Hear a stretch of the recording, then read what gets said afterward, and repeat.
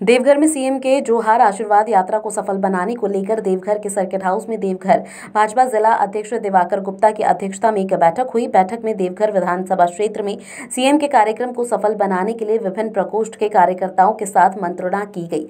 मौके पर मौजूद देवघर विधायक नारायण दास, देवघर विधानसभा संयोजक संजीव जजवाड़े, देवघर जिला अध्यक्ष दिवाकर गुप्ता, महिला मोर्चा जिला अध्यक्ष विजया सिंह, महानगर अध्यक्ष सोना धारी झा और जिला महामंत्री संतोष उपाध्याय बबलू सिंह सहित सैकड़ों कार्यकर्ता उपस्थित रहे। पार्टी की ओर से जोहार जन आशीर्वाद यात्रा चलाया जा रहा है, उसमें झारखंड सरकार की उपलब्धि जो विकास के लिए झारखंड का नाम पूरे हिंदुस्तान में हो रहा है, उसका सारा श्रेय मुख्यमंत्री रघुवर दास जी को जाता है।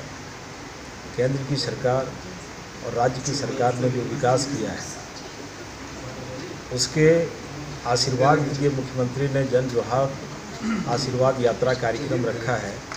उसी नामित ये बैठक आज यहाँ देवघर जिला का हो रहा है और ख़ास करके देवघर विधानसभा का हो रहा है। और 24 तारीख चार बजे इस यात्रा का समापन देवघर की धरती से ही होने वाला है, जिसमें कार्यकर्ताओं की ओर से और यहाँ की जनता की ओर से मुख्यमंत्री को आशीर्वाद देने का काम किया जाएगा। और उसी कार्यक्रम को सफलतापूर्वक कैसे हो उसके लिए कार्यकर्ताओं की बैठक है।